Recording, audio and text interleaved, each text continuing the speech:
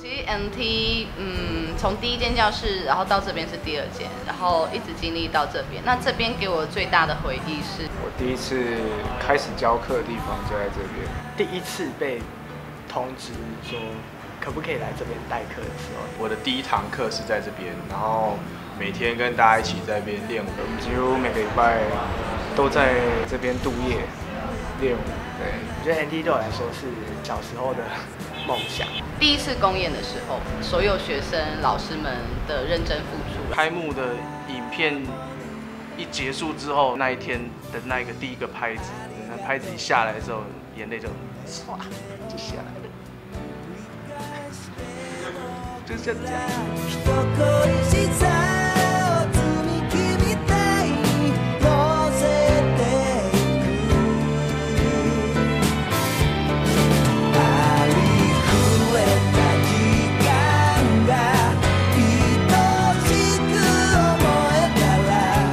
时候，因为为了要考北体，所以每天都来报道。像玉龙啊、AJ 啊，因为他们就是会晚上会带我留下来夜练，晚上十一点练到早上六点，然后坐火车回家。我学到了很多很多，不管是人生还是跳舞。教的时候后面都是老师，然后那一次就是教大家就很紧张。我我刚来的时候，我想说，如果真的拿东西来放，放得下吗？我的所有奖杯，他们全部真的让我放下，放得下，嗯。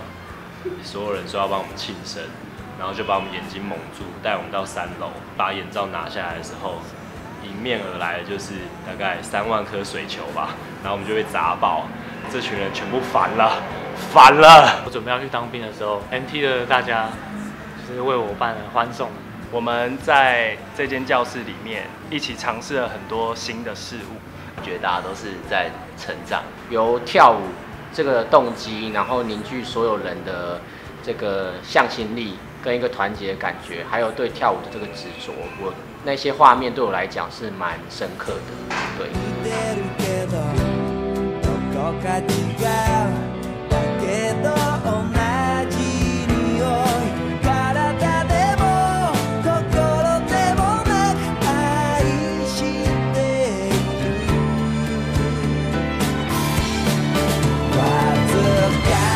当然是期待学生可以越来越多啊！希望桃园的学生可以挺自己桃园的老师。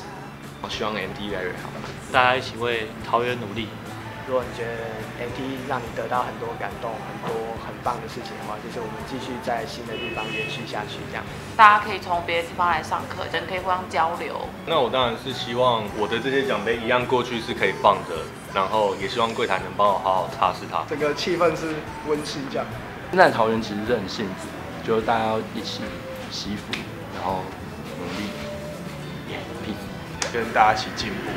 对，很期待跟大家一起学习上课，再带出更多的新生代。一样是教室的发展，然后更多突破，任何的创新，我觉得都都还蛮期待的。培育出更多属于 MT Family 的新生代的舞者。不管你未来有没有继续跳舞，都可以回来。NT 看看这样子，我们是很真诚的在做事情，那也希望地方上的同学可以看到我们的真心，因为我们是抱着感恩在做事的呢。是希望他把它推广成一个全民的运动。我觉得旧 MT 对我来讲，就像海贼王里面的黄金美丽号，呃，我们大家很团结，在这个地方，呃，努力，然后做了很多很棒的事情。新 MT 的话，对我们来讲，就像是。换到了一双更强而有力的新的船一样，然后我们要继续努力，然后继续带给大家更多有关街舞、有关梦想的东西，让大家去在这里可以实现大家想做的事情。